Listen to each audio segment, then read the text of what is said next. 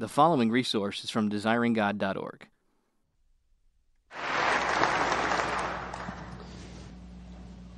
If you draw a line from Honolulu straight to Sydney, it'll cut right through Port Vila, which is the capital of what is today called Vanuatu. And if you go along two thirds of that line, you'll be there. Those are the New Hebrides, given that name by Captain James Cook in the 18th century because they look to him like the Hebrides Islands off the coast of Scotland. Today, uh, Vanuatu has about 190,000 people on 80 islands. Not all of them are habit- inhabited, but many of them. As far as we know, there was no Christian influence among the New Hebrides until 1839. Think of it. Just think of it. Just think of it. 18 centuries between Christ and the first missionary. It should not have been. The first missionaries, you've probably heard the names John Williams and James Harris. Within minutes after going ashore on the island of Eromanga, they were clubbed to death, cooked, and eaten in the face of the ship that was still off shore. John Paton arrived there in 1858 and gave his life to the New Hebrides. He died when he was, um, well, it was 1907. You do the math. He had a long life, which is amazing when you realize what he went through. He was born in 1824. 1824 to 1907. He lived in Scotland, grew up in a godly home, and uh, was a city missionary. Today we call him urban missionary, probably. In the Reformed Presbyterian Church in Glasgow from age 23 to 34. And it was a wonderfully fruitful ministry. He was filling up classes of six and seven hundred poor people every day. And then God called him to be a foreign missionary, and he went to the island of Tanna with his wife when he was 34, and he labored there for four years until he was driven off. The hostilities became so great. It took four years doing vision spreading all over uh, Australia and Britain, and then God called him to the island of Aniwa, and there he spent the rest of his life, and the whole island came to Christ. And today, um, if you go to Vanuatu, uh, roughly, oh, what are my numbers here? Um, 85%, I think, of the people on the islands would call themselves Christians, and a very large percentage of that are Presbyterians. It's the biggest church, which is a tribute to the abiding influence. That's about, what, 93 years between the time Paton died and today, and the Presbyterian church is strong there. Perhaps, according to Johnstone's Operation World, 21 percent of the population would call themselves evangelical. So the history of the church is so short, it's so recent, and they were cannibals. And that's not an overstatement or a rhetorical flourish. And the missionaries came there in the 1830s, 40s, 50s, and labored so faithfully that whole islands were brought to, were brought to Christ. And it was a remarkable thing. Uh, what he did was simply to plant himself there, uh, learn the language, translate parts of the Bible, built a couple of orphanages on Aniwa. He and his wife raised dozens and dozens of children for Jesus, he said. Trained teachers that became converted, sent them out to the outlying villages, Uh, he said, We ministered to the sick, we dispensed medicines every day, we taught them the use of tools, we expounded the scriptures, we held worship services every week on the Lord's Day for any who was willing to come. And then he wrote, in his old age, I claimed Aniwa for Jesus, and by the grace of God, Aniwa now worships at the Savior's feet. It was a remarkable thing. It was not a big island, it was two miles by seven miles. That's how big the island was. Had on it three or four thousand people scattered in little, little villages around. And that's what he gave 15 years of concerted life to. And then he began to mingle mission on the island with what was really probably the most influential part of his life was missions mobilization.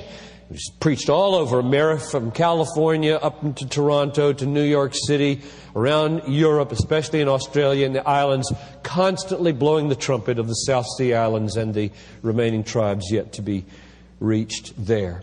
He kept journals, notebooks, and letters. And uh, I don't know if any of these are left in the bookstore now, but uh, John G. Paton, An Autobiography, is all three volumes in one volume from Banner of Truth Trust now.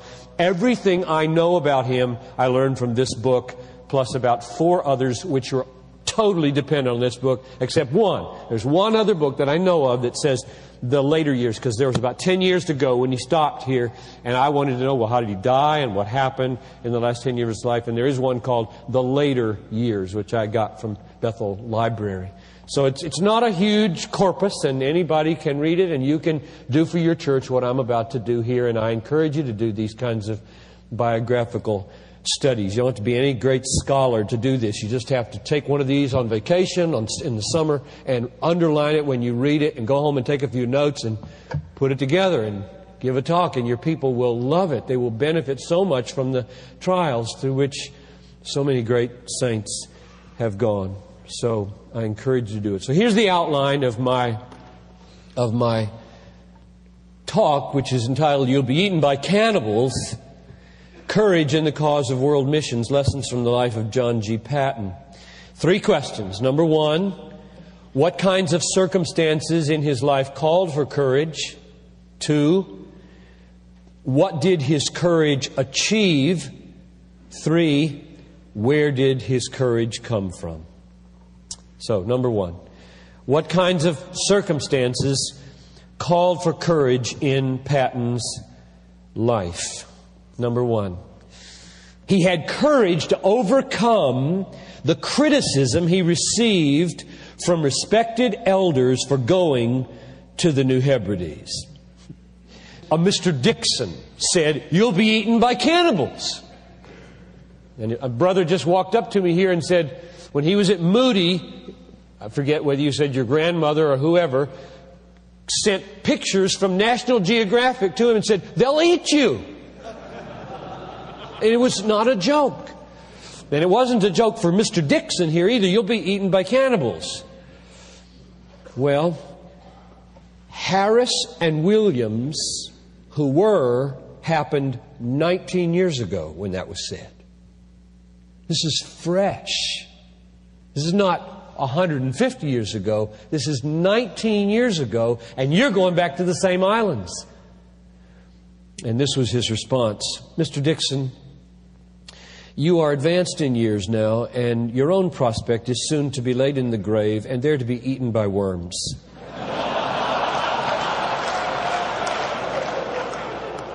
I confess to you that if I can but live and die serving and honoring the Lord Jesus, it will make no difference to me whether I am eaten by cannibals or by worms.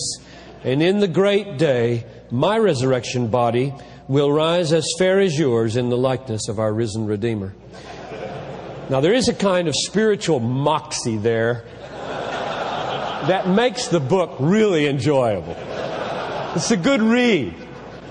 He was a remarkable man. I think we're overusing the word remarkable, so I'll try to pick another remarkable word besides that one.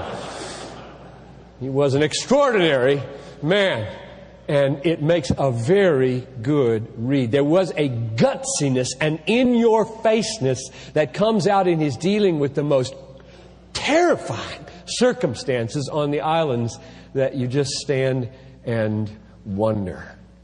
But he was leaving a very fruitful ministry. He was a success. If anybody would look at him and say, You got an anointing for urban ministry, brother. Nobody's been able to do for decades in Glasgow what you have done.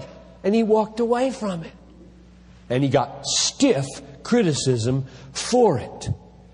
He said, The opposition was so strong from nearly all, and many of them warm Christian friends, that I was sorely tempted to question whether I was carrying out the divine call or only some headstrong wish of my own. This also caused me much anxiety and drove me close to God in prayer. First act of courage to handle that kind of criticism and stand by his sense of God's call. Second, he had courage to risk losing his loved ones and press on when he did, in fact, lose them. He married just before he left, his early 30s. There's a lot of details, by the way, left out that just are maddening. You want to know I do not know how many children Paton had. I know he had at least six, but there's nowhere he talks about them. His, his, his selectivity in writing this autobiography is frustrating to the biographer. But he had several. Anyway, he, he married Mary and took her on a boat three months to Sydney, then over to the islands. They choose the island, Tanna. Go to Tanna. They positioned him there. He built a house, then he brought her over. February 12, 1859, the baby was born. So now they have a little one, and they're married, and uh, the boat leaves. No telephone, no telegraph, and nobody else. Our island exile, he said, thrilled with joy, but the greatest of sorrows was treading hard upon the heels of my great joy. Mary had repeated attacks of ague, fever, pneumonia, diarrhea.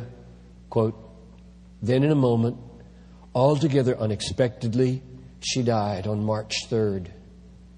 So this is four months after he's there. To crown my sorrows and complete my loneliness, the dear baby boy, whom we had named after her father, Peter Robert Robson, was taken from me after one week's sickness on the 20th of March. Let those who have ever passed through any similar darkness as of midnight feel for me. As for all others, it would be more than vain to try to paint my sorrows. He dug the graves with his own hands. He put them in at the end of his house. And he said, My reason seemed for a time almost to give way. But for Jesus and the fellowship he vouchsafed to me there, I must have gone mad and died beside that lonely grave. Now, the two aspects of courage here are one, to risk that happening. Her parents never recovered from that. He met them when he went back four years later. They never recovered, they died from that blow. And so you can imagine the kind of criticism that would begin to crop up. You took my daughter. You took my daughter. I've had, I've had a man threaten my life from outside this church for sending his son overseas. He said to me, If anything happens to him, you will pay. The courage then to go on after it happens is a great courage. And he went on. He went on. Four years beside that grave, alone with Abraham, his Aneityumese convert servant helper who was wonderfully trustworthy, he fought the battle alone to preach the gospel among the cannibals. Number three, he had courage to risk his own sickness in a foreign land with no doctors and no escape. Fever and ague, he said, attacked me 14 times severely. He never knew. Picture it now. You have no hospitals, you have no doctors, you do have some primitive medicines with you, and you get sick with the same thing your wife died of, and you watched her die, and you buried her with your own hands. And you never know 14 times, and you don't know which one is going to be your time. Do you not go mad? Do you not quit after the third or fourth or fifth or thirteenth time and say, That's enough? And he didn't. He just kept on going and going and going. And those dangers were not just in the first four years on Tanna. Here's what he wrote 15 years later. There was another wife, Margaret. He married after the went back home, and he had another child. And this is what he wrote. During the hurricanes of January, April 1873, when the Dayspring, the mission ship, was wrecked, we lost our darling child by death. My dear wife had a protracted illness, and I was brought very low with severe rheumatic fever and was reported as dying. So it isn't as though he, he passed through a season of serious suffering in the first four years and then triumphant conversion of Aniwa. He, he wrote the line, um, our, our struggles were strangely mingled all through life with successes and difficulties. It was a strange mingling. Number four, the most common demand for courage was the almost constant threat to his life from the hostilities of these natives. And what makes this autobiography so thrilling, it's like a thriller to read, is because of his report of so many crisis situations into which he was brought and out of which the Lord brought him. One crisis after the other. And one wonders how he kept his mind from snapping. I've been in only a very few situations where there have been death threat phone calls or somebody hollering obscenities outside your house or some gunshots and and the the thing that has happened inside of my stomach and my chest at those moments when it's not surrounded by 500 people with machetes it's just you're not sure what it is I just want how in the world do you keep your mind from just going snap and then to have it happen over and over, and there are no weekend getaways. There are no restaurants. There's no bed and breakfast. There's, there's nothing but more of it tomorrow morning. Never knowing whether if you walk down to the water place, somebody would kill you, or if you did anything. It, it's constant tension. The spring never has a chance to unwind. How in the world, but for sovereign, miraculous grace upon grace, way beyond anything any of us carries into it, could it last? And that's the way he, he lived for these four years on Tanna. He wrote, Our continuous danger caused me now oftentimes to sleep with my clothes on, that I might not, that I might start at a moment's warning my faithful dog, Clutha. This is a great theme running through the first volume. Clutha. I love Clutha. Little Scottish terrier. Saves his life over and over again. And all I can think is he must have brought him on the boat. I mean, where do you get a Scottish terrier in, in the New Hebrides? And Clutha, the name Clutha is the name of the boat that, that brought him down there. So this little dog, and it's a very poignant thing when the dog doesn't escape, when he escapes. But this dog saved his life over and over again, and he gives God the credit for it.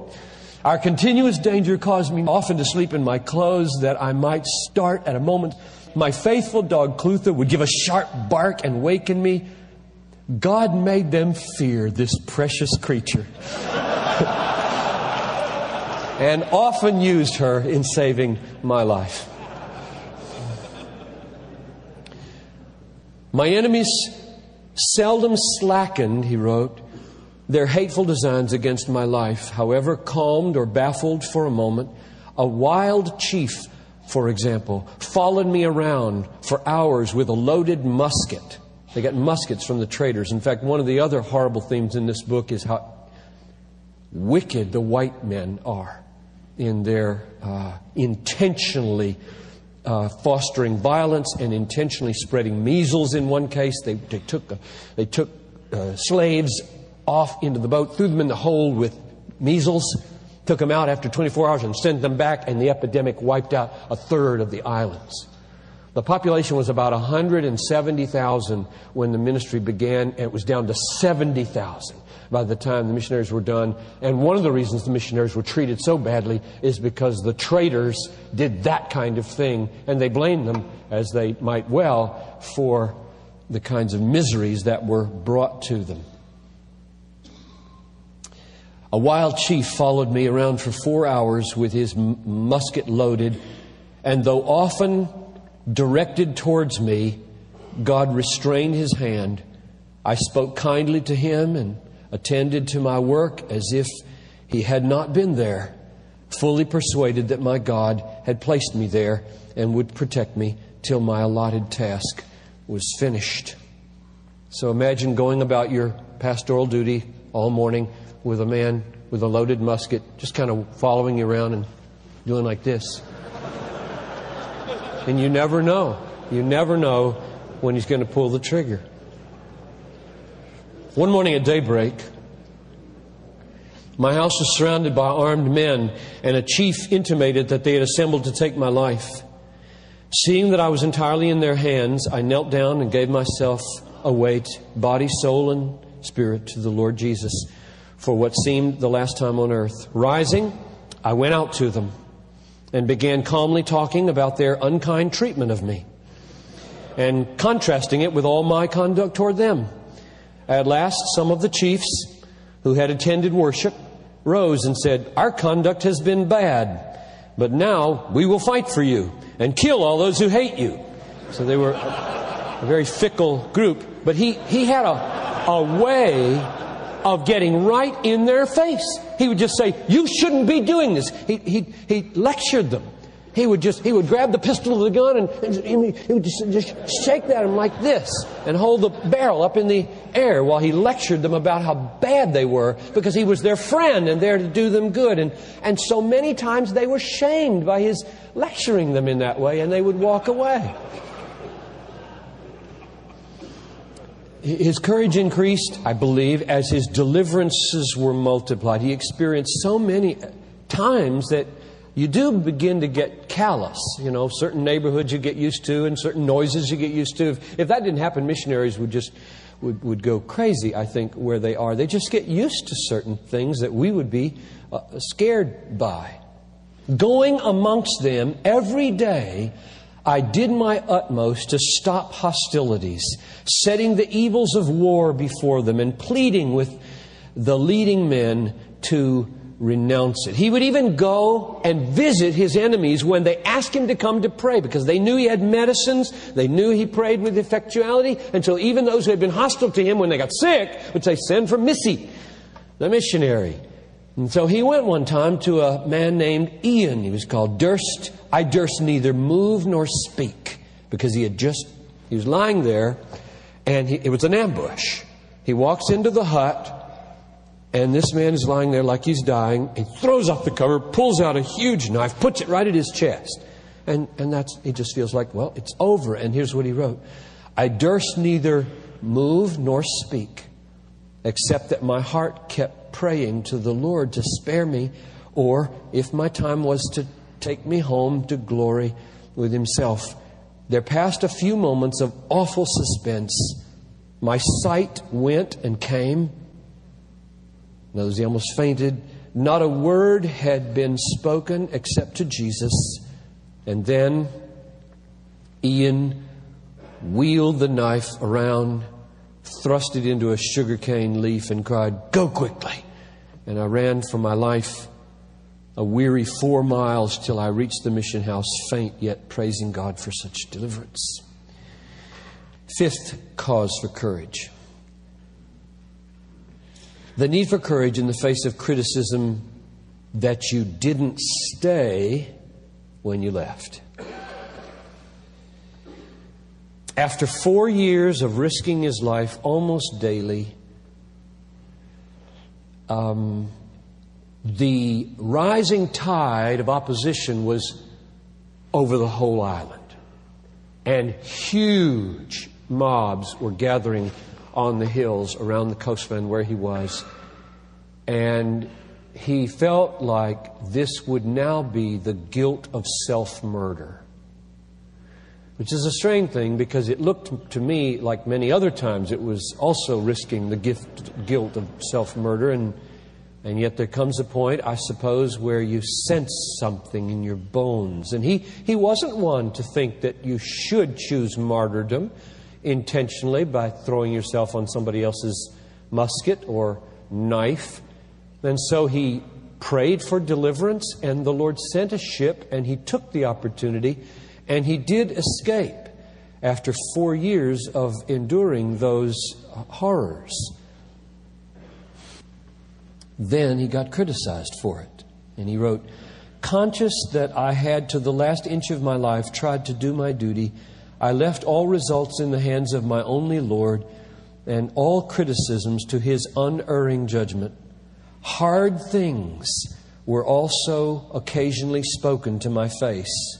One dear friend, for instance, said, You should not have left. You should have stood at your post until you fell. It would have been to your honor and better for the cause of mission had you been killed at the post of duty like the Gordons and the others. And at that point, when you've risked your life four years and lost your wife and lost your child, and somebody says that to you, if you've been pouring your life out and preaching your heart out, wouldn't you just want to take your ball and go home to Glasgow and say, okay, if that's the way you treat your missionaries, if that's the, the way you feel, then um, I'm out of here. And he didn't. He, he could absorb that and press on. And he did press on. That's point one. What were the causes of courage? Now, here's, here's number two. What did it achieve?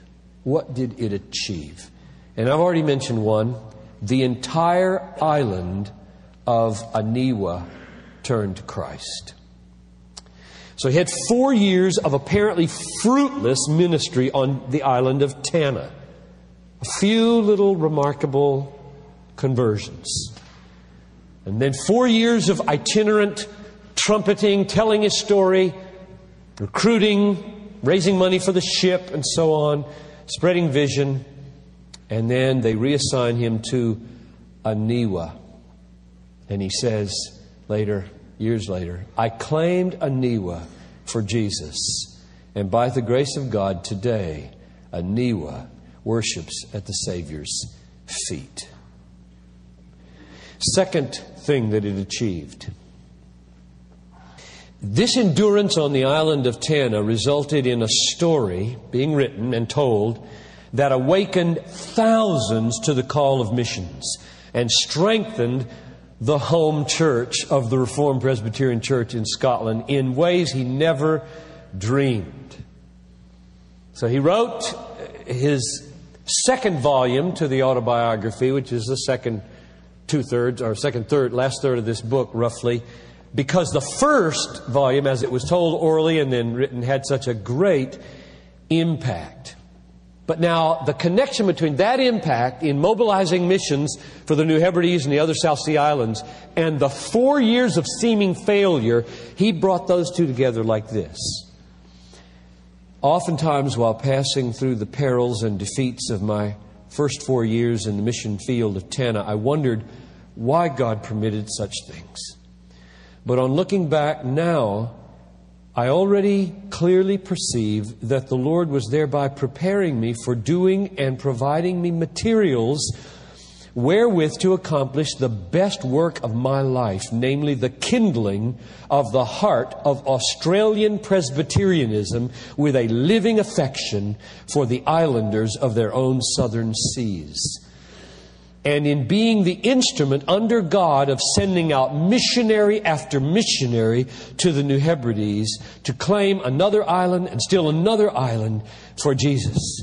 That work and all that may spring from it in time and eternity never could have been accomplished by me but for the first sufferings and then the story of my Tanna enterprise.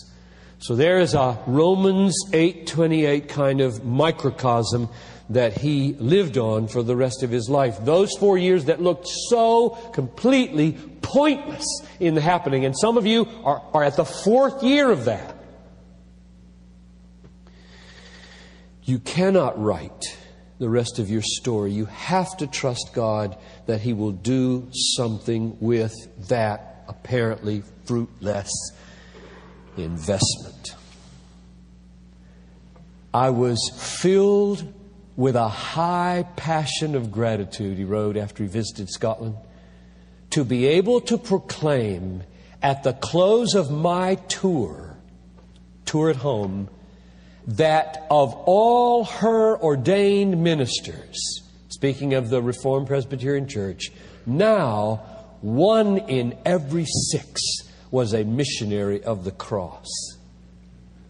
So, one of the effects, one of the achievements of the fruitless experience on Tanna was to go home and tell the stories of the dangers, tell the stories of his wife, tell the stories of his child, tell the stories of his sickness.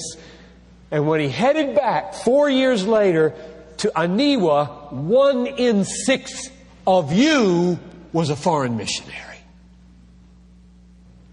That's worth a lot of suffering. At least he believed it was. Now, what about the effect on the church just at home, not to leave it, but here's what he wrote. Nor did the dear old church thus cripple herself because of these men who were leaving. On the contrary, her zeal for missions accompanied, if not caused, unwonted, W O N T, unwonted prosperity at home. New waves of liberality passed over the heart of the people of God. Debts that had burdened many of the churches and manses were swept away. Additional congregations were organized, and in May 1876, the Reformed Presbyterian Church entered into an honorable and independent union with her larger, wealthier, more progressive sister, the Free Church of Scotland. So he, he thrilled to look at the health of the church at home because he was there recruiting for the New Hebrides. And brothers, I would tell you, Never, ever, ever has the Lord let the cause of world missions in a local church hurt that church. It doesn't happen. And so go, go for broke when it comes to the unreached peoples of the world. I don't care how bad it is in your church. Lift up your sights towards the unreached peoples of the world. Third effect to vindicate the power of the gospel to convert the hardest people. One of the interesting things about Paton's autobiography is that he has an eye on the culture despisers of religion back home in Scotland and in Europe. He's writing this book for lots of different kinds of people. One of the kinds of people he's writing for is professors in universities who scoff at the reality of the supernatural and the reality of conversion. Oh, he's got good quotes on this. For example, um, there was a chief named Kowia on Tanna. This is one of the triumphs of Tanna. There weren't many, but Kowia was one of them. And he was dying. And these natives had an uncanny way to know when they were dying. And he came to him and he said, I am dying. And he didn't know how he knew, but he just said, I am dying. Farewell, Missy. I am very near death now. We will meet again in Jesus and with Jesus. Abraham sustained him tottering to the place of graves. There he lay down and slept in Jesus. And there the faithful Abraham buried him beside his wife and children. Thus died a man who had been a cannibal chief. But by the grace of God and the love of Jesus, changed transfigured into a character of light and beauty. What think ye of this, ye skeptics, as to the reality of conversion? In another place, um, he talks about Abraham himself. This Abraham is another sweet piece of the story. They don't get any better than Abraham, his servant. When I have read or heard of the shallow objections of irreligious scribblers and talkers, hinting that there was no reality in conversions and that mission effort was but waste, Oh, how my heart has yearned to plant them just one week on Tanna with the natural man. All around in the person of cannibal and heathen, and only the one spiritual man in the person of the converted Abraham, nursing them. He means him. Nursing them, feeding them, saving them for the love of Jesus, that I might just learn how many hours it took to convince them that Christ in man was a reality after all. All the skepticism of Europe would hide its head in foolish shame, and all its doubts would dissolve under one glance of the new light that Jesus and Jesus alone pours from the converted cannibal's eye. There's something about evangelism, brothers, and especially on the raw, cutting edge where it feels impossible that a person could really stop being a Muslim and start being a Christian, or stop being a Hindu and start being a Christian, or stop being a cannibal and start being a Christian, or stop being an agnostic and start being a glorious transformed Christian. There's something that happens there that sweeps away all the skepticism of Europe from your heart.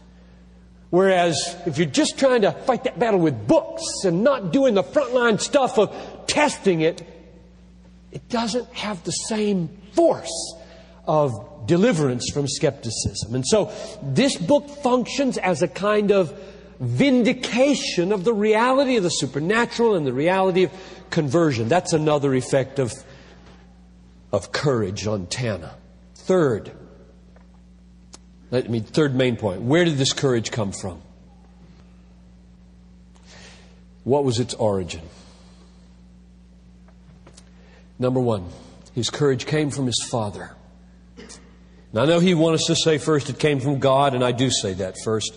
But under God, there were these means, and his father, I tell you, after the first 80 pages of this, if you had taken it from me and ripped it to shreds and uh, said, See, you've wasted your $25, I would have said, I didn't waste a nickel. Five pages in this book are worth $25 to me. I have four sons and one daughter, and I wept over these pages, and I wept last night as I read them again because I want to be a daddy like this daddy was. To produce a John Paton, he did not come out of nowhere. He came from a daddy and a mommy. And most of us, not all, but lots of us are fathers in this room, and some are younger and still have a lot of fathering to do. Others are older and we still have a lot of fathering to do. At I do. I got a four year old, and I get another chance now with Talitha. Now, why do I say this was so remarkable that he came from his, his father? There was a closet in this little Torthorwald village.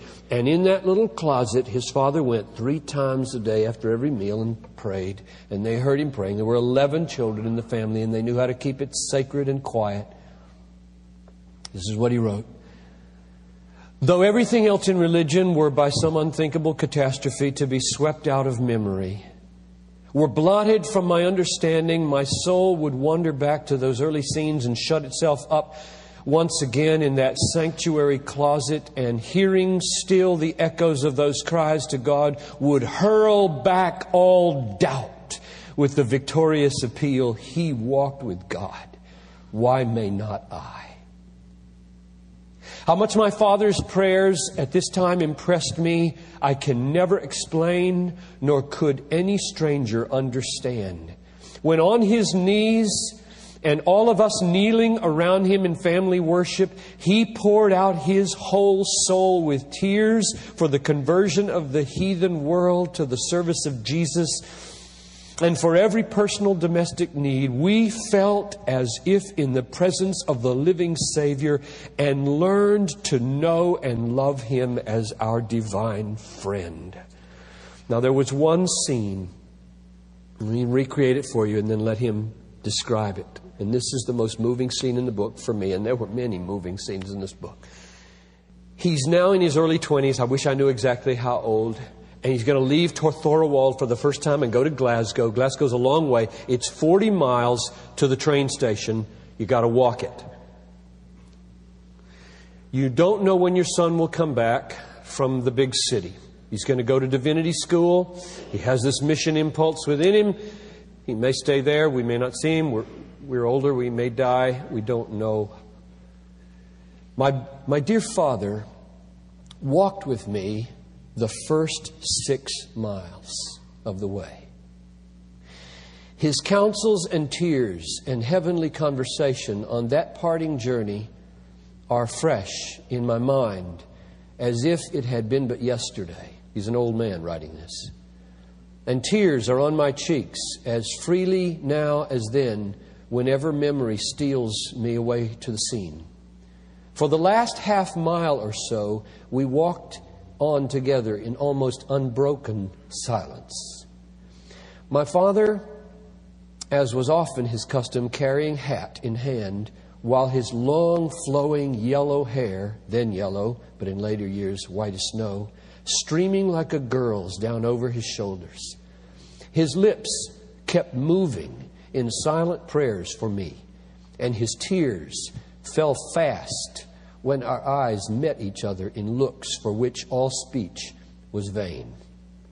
We halted on reaching the appointed parting place. He grasped my hand firmly for a minute in silence, and then solemnly and affectionately said, God bless you, my son. Your Father's God prosper you and keep you from all evil. Unable to say more, his lips kept moving in silent prayer. In tears, we embraced and parted. I ran off as fast as I could, and when about to turn a corner in the road where he uh, would lose sight of me, I looked back and saw him still standing with head uncovered where I had left him, gazing after me. Waving my hat adieu, I rounded the corner and out of sight in an instant. But my heart was too full and sore to carry me further, so I darted into the side of the road, wept for a time. Then, rising up cautiously, I climbed the dike to see if he yet stood where I left him. And just at that moment, I caught a glimpse of him climbing the dike and looking out for me. He did not see me, and after he gazed eagerly in my direction for a while, he got down, set his face toward home, and began to return. His head still uncovered, and his heart, I felt sure, still rising in prayers for me.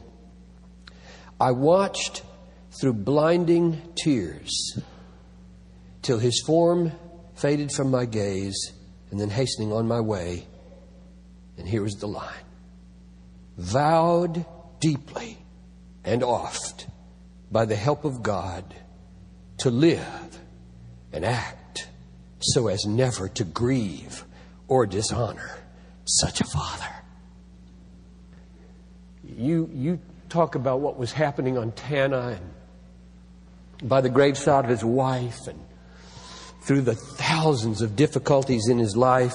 And what was happening was the fruit of a father's love. I, I, I almost gave this lecture totally on that father son relationship because there's enough there just to unpack it for us in terms of how he prayed. He talked about they had to walk six miles to church. His father missed church twice in 42 years. Never in his memory missed a family devotion. Everything gave way. I think of myself, and if, if Barnabas says, oh, I'm late for school, Dad, I say, Well, at least let's pray. What a whip! Sit down. You can be late for school.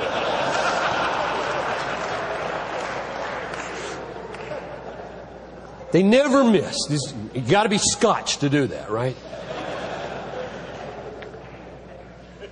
The six miles, this kid and his ten brothers and sisters, he said, looked forward to going and coming because the meat at the temple was so rich, they were eager to get there, and it was so rich it took six miles to digest it on the way home. And he said, religion was presented to me with such an intellectual freshness. That was the phrase. Intellectual freshness that the Lord's Day was never boring in the Paton home. Oh, what an impact the home will have. Number two, um, his courage came from a deep sense of divine calling. Before he was 12, he said he knew God wanted to be a foreign missionary, though he put it on the shelf for a long time. When he was criticized, you shouldn't go, this is crazy, then his parents stood forward. And this is what they said Heretofore we feared to bias you, but now we must tell you why we praise God for the decision to which you have been led. Your father's heart was set upon being a minister, but other claims forced him to give it up.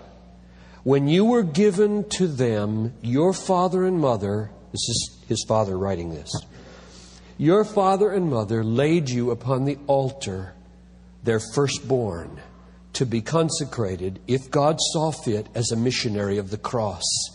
And it has been their constant prayer that you might be prepared, qualified, led to this very decision. And we pray with all our heart that the Lord may accept your offering, long spare you, and give you many souls from the heathen world for your hire. Thank God for parents, right? Thank God for parents. Number three, a third source, courage came from a sense of the holy heritage of his church. He was the heir of the blood of martyrs among the Scottish Covenanters, and he knew it. And he said, I am more proud that the blood of martyrs is in my veins and their truths in my heart than other men can be of noble pedigree or royal names. And when he talked about truths, he meant Calvinism. And he says so explicitly on page 195 I am by conviction a strong Calvinist. And then he unpacks it in the way true Calvinists really unpack it, who are missionaries, and the best Calvinists are missionaries, and non missionary Calvinists are not true Calvinists. He said, regeneration is the sole work of the Holy Spirit in the human soul and heart and is in every case one and the same. Conversion, on the other hand, bringing into play the action of the human will also, get the order here now, is never absolutely the same, perhaps in any two souls Oh, Jesus, to thee alone be all the glory. Thou hast the key to unlock every heart whom thou hast created. That's what kept him going theologically in the hardest places of the world. Calvinism is not a hindrance to missions, it's the only hope for missions. And anything else is a distortion of it. And if you call yourself a Calvinist, or somebody who loves the supremacy of God, and you aren't hard after the unreached peoples, you're a living contradiction. And many of the great missionaries, Duff and Judson and Carey and Paton, the whole wave of the first modern missionary movement would put you to shame for talking about Calvinism apart from missionary reaching of the unreached peoples. Fourth thing that prompted his courage, besides the truths of these covenanters that he loved, was the sovereignty of God controlling all of his adversities. What about his wife and child? Feeling immovably assured that my God and Father was too wise and loving to err in anything that he does or permits, I looked up to the Lord for help and struggled on in his work. Once, when he was surrounded by natives and they were threatening his life, he, he records this happening. My heart rose up to the Lord Jesus. I saw him watching all the scene. My peace came back to me like a wave from God. I realized that I was immortal till my master's work with me was done.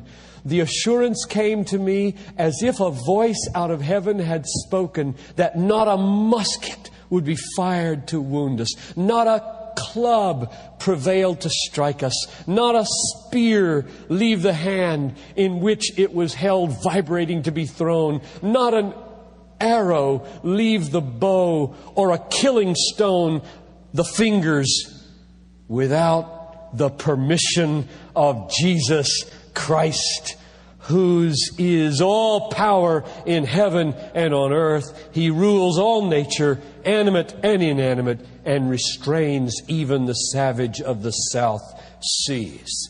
So if you wonder what kind of theological structure was holding this man as he walked through the most incredible dangers, the answer was you can't bring that knife down until Jesus takes his hand off your hand. Often since have I thought that the Lord stripped me bare of these things.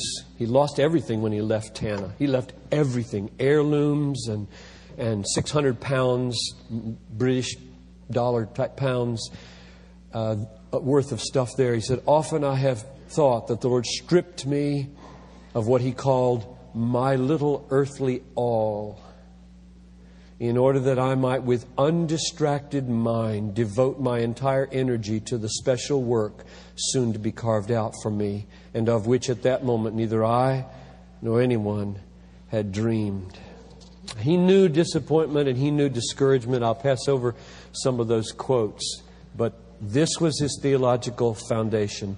Whatever trials have befallen me, in the losing, for example, of the Dayspring that he had raised money to get, the ship that was the lifeline for so many missionaries on the islands, and it was wrecked in a storm. Whatever trials have befallen me in my earthly pilgrimage, I have never had the trial of doubting that perhaps, after all, Jesus had made some mistake.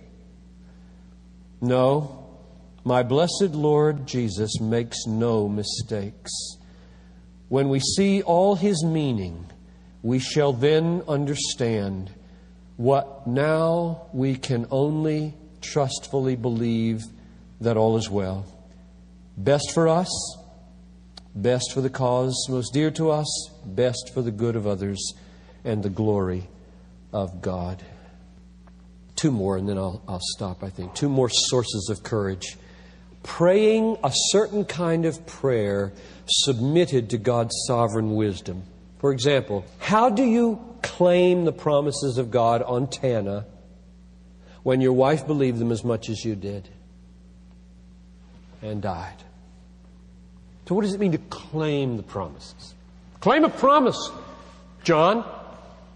Claim a, prom- a promise for protection, a shield.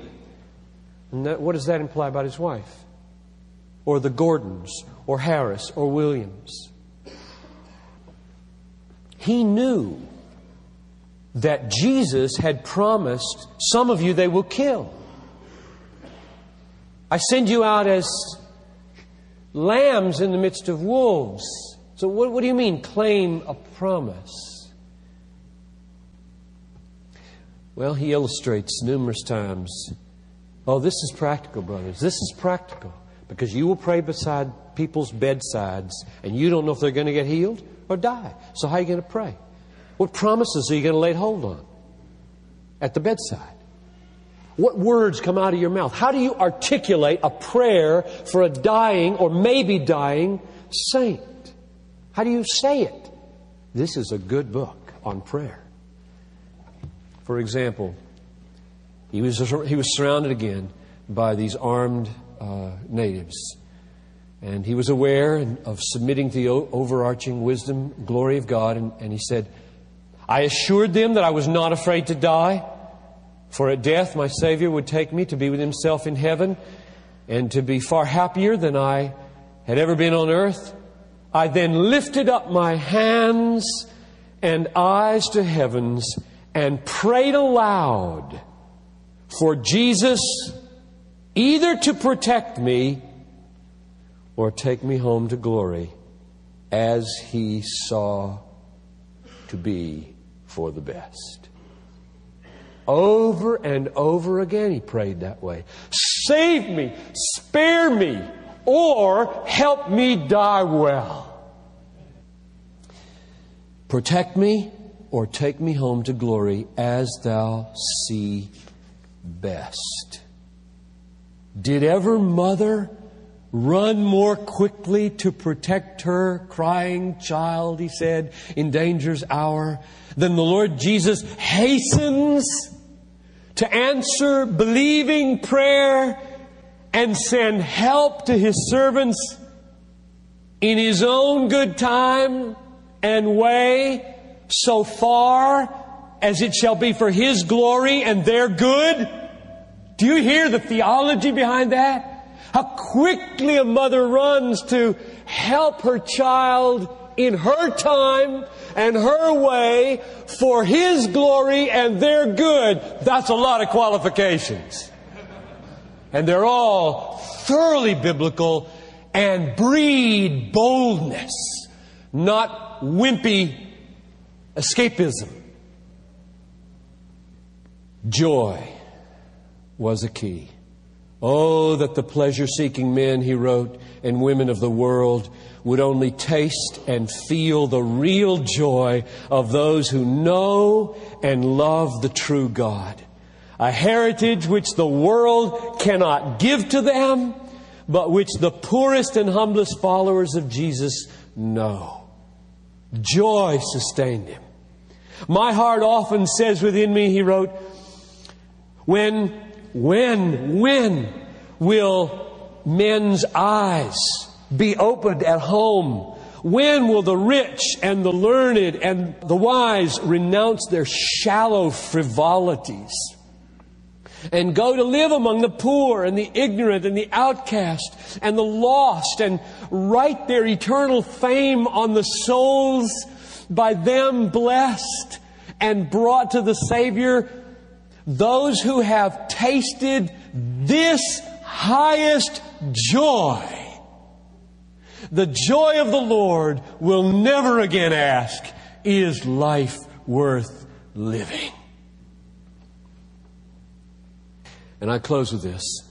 If you ask now, all right, what was the bottom line means by which he maintained joy that triumphed over such opposition.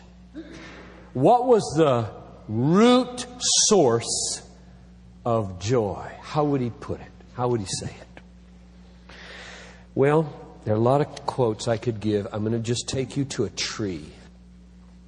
On the way to the tree, I'll just say, The promise, Lo, I am with you always King James, Lo, I am with you always, was the most precious promise in the Bible for him.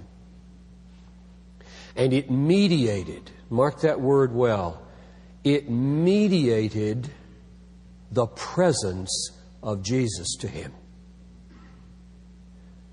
I believe theologically he's right that the living spiritual presence of Christ today is a mediated presence through the Word, and especially through the promise of God. And that promise, more than any other, came to him at the most critical moments of his life, and he tasted Christ.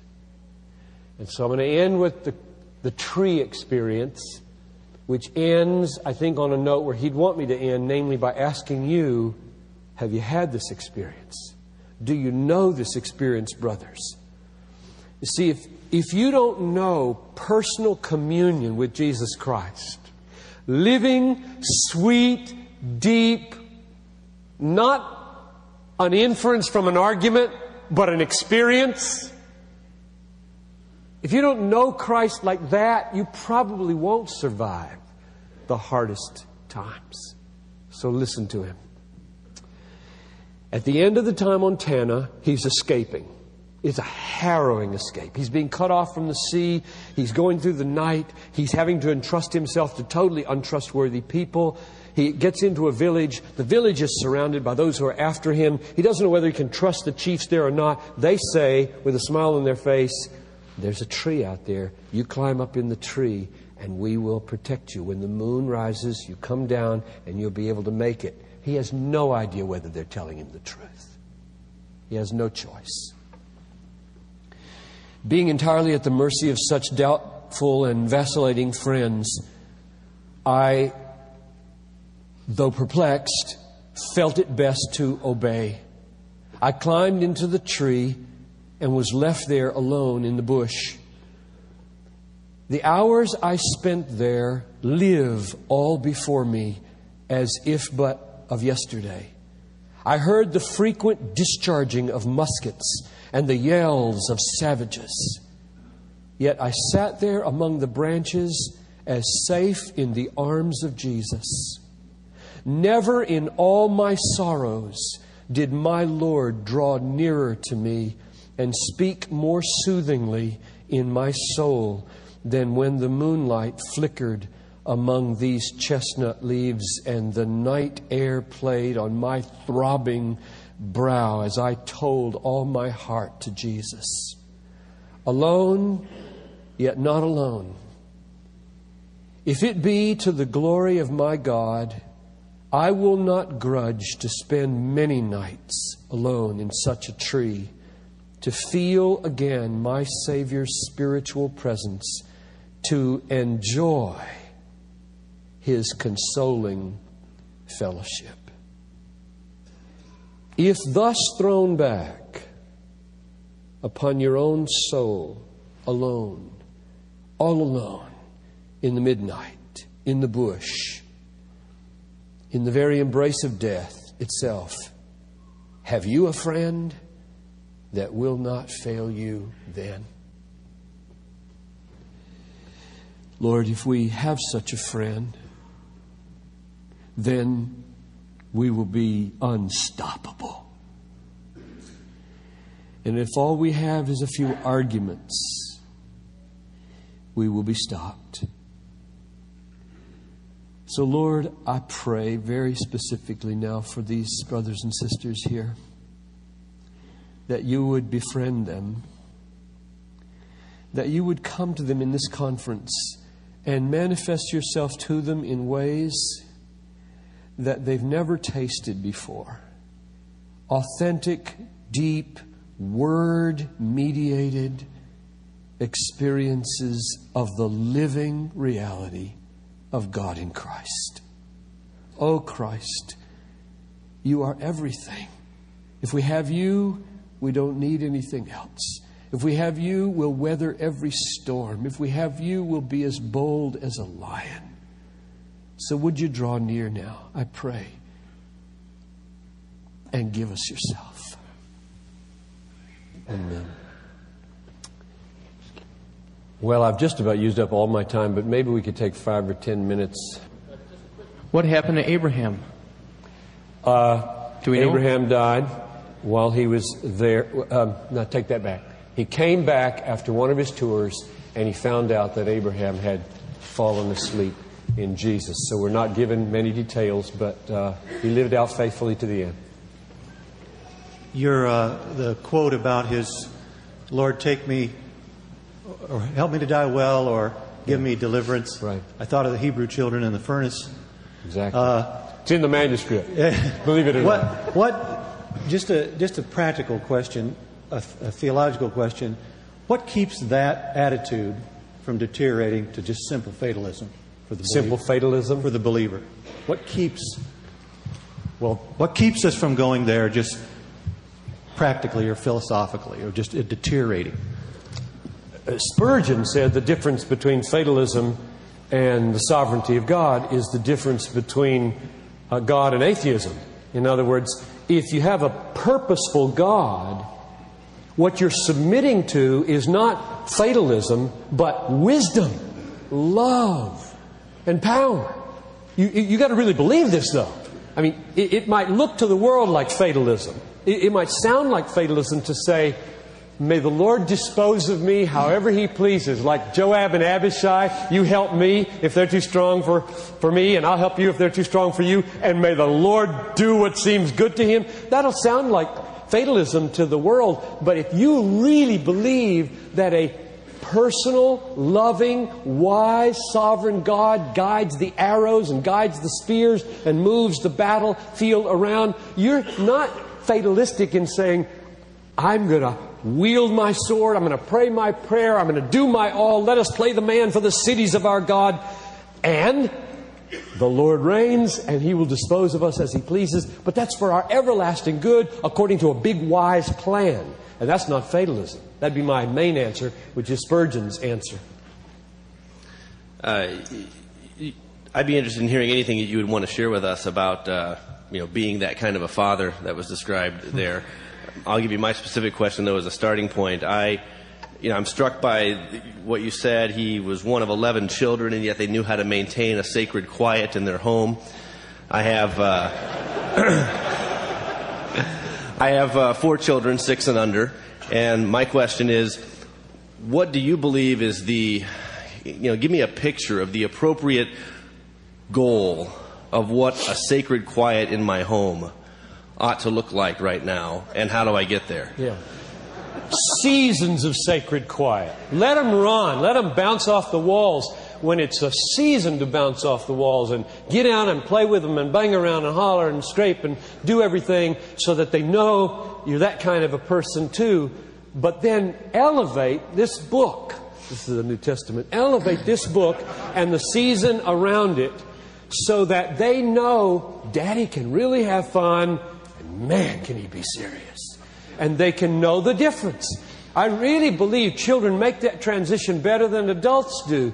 And they need to have fear of their parents and they need to be utterly unafraid. You said that, didn't you? Who said that? You did, yeah. Be afraid so they don't have to be afraid. That's G- Exodus 20 20. Fear the Lord so you don't have to fear the Lord. So we need to beget fear into our children with the kind of discipline that makes them know you do not trifle with the word of your Father because He's the greatest guy in the world.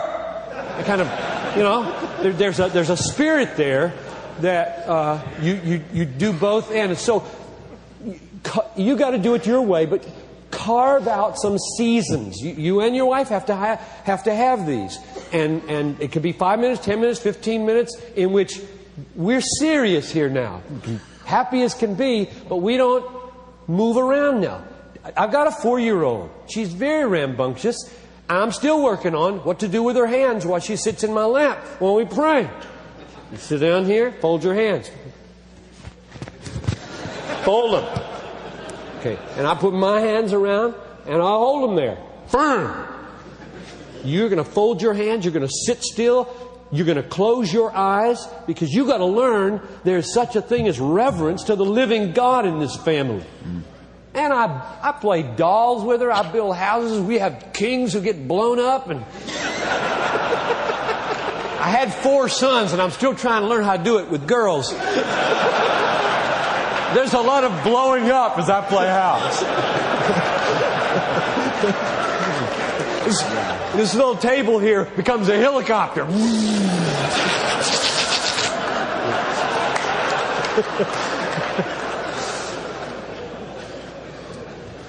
Um, right at the beginning uh, here in your uh, talk, you said something like this: uh, 18 centuries since the Savior came Yeah. before New Hebrides heard the gospel, and that's not right. Can you process that for us with the sovereignty of God? Yeah, I, I can try. I mean, I was, when, it, when it came out of my mouth, I knew that's what many of you would be thinking, because that's what I think. That's what I think. When I say it's a sin, and I believe in the sovereignty of God, I'm saying that God permitted or ordained, however you want to put it. Those are not, those are the same to me because He ordains what He permits. Um, and I would simply say that the answer is the same with all sin. God hates sin, and He's sovereign over sinners, and He can change any of them to cause them to stop sinning. The proof of that is that He changed you, and one day He will, in the twinkling of an eye, when the last trumpet sounds, change you in an instant without violating your personhood. You'll never sin again after the second coming. How can that be? You'll never sin again after the second coming. Why? God. That's the only reason. And if God can do it without violating your personhood at the last trumpet, He could do it right now for every human being without violating anybody, and He doesn't do it. I don't know why God draws who He draws, why He sanctifies at the pace He sanctifies, and why He releases the gospel and impels the gospel to the New Hebrides in 1839 instead of 1539, why he didn't cause shipbuilding to happen a different way, why he organized the Renaissance and exploring the way he did. I don't know, except that God is God. I'm not God. I just know that he said, Go and make disciples of all nations, and we've been very wimpy in the way we've gone about doing it, and we should feel bad about it and should repent of it and not say, God made me do it.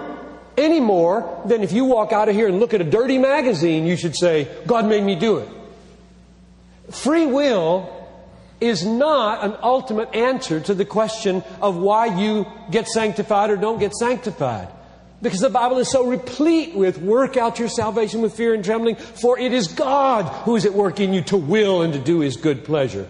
Or Hebrews 13 20, he is at work in you to will and to do what will please him. And many other places. I will put my law within them and cause them to walk in my statutes. I will put the fear of God within them so that they will not turn away from me. God lays claim to the human will without violating our personhood or our accountability. It, ultimately, I think it's a mystery there.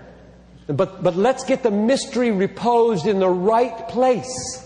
At least the place I think is right is the mystery between accountability and sovereign control, not between sovereign control and human autonomy. That's not the place that the mystery exists in the Bible. The Bible does not teach human autonomy. It teaches human accountability under the sovereign control of God. Abimelech, I kept you from sleeping with Sarah. I did that. And if I kept you from sleeping with Sarah, I can keep any man anywhere from sleeping with anybody. And I don't do it. And I have purposes for not doing it, and they are wise purposes. So, I'm sorry, getting. that was beyond, beyond what you asked. I think the simplest, shortest answer to that question is however you, however you solve the problem of anybody's sin in any circumstances under a God who loves holiness and righteousness and is sovereign over the human will, you use that same means to solve the problem of why we disobeyed the Great Commission for so long. It's not, it's not to our credit. Regarding uh, genuine communion with God versus uh, simply drawing inferences from syllogisms. Um, Yeah. That uh, experience I find easier to maintain when there are 500 guys with machetes around my house, Yeah. and harder when things are going well in the church and well in my family, um, like they are, for example, right now. Yeah. Um, what do you do to um, when you don't have the prod of of outward difficulties to to make your soul hunger after God? Yeah. What do you do when things are going well to avoid the creeping uh, dullness? Yeah, well, you're absolutely right. That's what he said. He said that very thing, that those hours were the sweetest hours of communion. And you're absolutely right. I don't know of any human being that said, I learned the deepest lessons about God when things were going well. I've never heard that come out of anybody's mouth. I learned the deepest lessons about communion with God when I was having a good vacation. It's never, ever been said that I know of, but rather at bedsides and at gravesides, and when kids are running away and you want them back, then you start to realize do I love or do I not love? Those are the kind of things. And, uh, but your question is all right, if that's true, and you have one of those wonderful seasons that the brother up here was talking about where things are going well in the church and in the family, I, I would say tremble. Tremble at those moments and read biography and read the Bible. Read what. Were you answering that? You guys are so good. I just can't remember what Al and Ben said. That these all said it together. That what was said in response to that question was, "It's a season. Give thanks for it. It's going to end." And the biographies will help. And um, then maybe, yeah, this should be said. He loves thee too little, Augustine, who loves anything together with thee which he loves not for thy sake. Meaning, when things are really going well, health is good, marriage is good, kids are compliant, church is pl- prospering, are you at that moment getting your good feelings from those things or from God?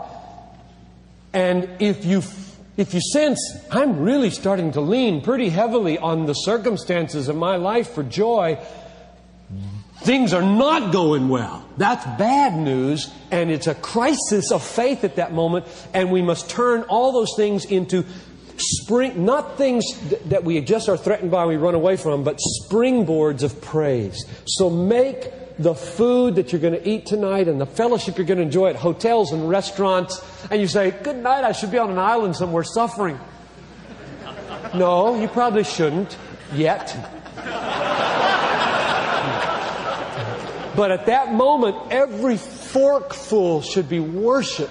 God, I don't deserve this. I'm a sinner. I should drop over dead with a heart attack and go to hell. And you lavish me. You lavish me with steak or chicken or pizza and Diet Pepsi and I can't believe what a good God you are. Don't let me get addicted to this stuff. Don't let me start to lean on this stuff. Make me love you more than I love this feast right now. Just pray that way, earnestly. Your life hangs on it. I'd just like to uh, share Hebrews 13 and 15 with the question when is surrender absolute? Now, this is not original with me, but I think it goes right along with the message we've heard today. When we are willing to give thanks to God in all things. By him, therefore, let us offer the sacrifice of praise to God continually, the fruit of our lips, giving thanks to his name. Just to paraphrase it, I'm not mad at God for what he's allowed to happen in my life. Amen. That has meant an awful lot to me, Pastor. Amen. Amen. Amen. That's a good word for us. I think we should stop. Sounds like this is a good place to stop. Can I pray for you? Lord, as we go to our, our rest and our food and our seminars that we're going to have, I pray that you'd go with us. Sanctify what is being heard here. Uh, cleanse it, take away all of self and flesh out of it, and what is true, let it have a tremendous effect. I pray for the glory of your name. Through Christ I pray. Amen. Thank you for listening to this resource from desiringgod.org. If you found it helpful, we encourage you to enjoy and share from thousands of resources on our site, including books, sermons, articles, and more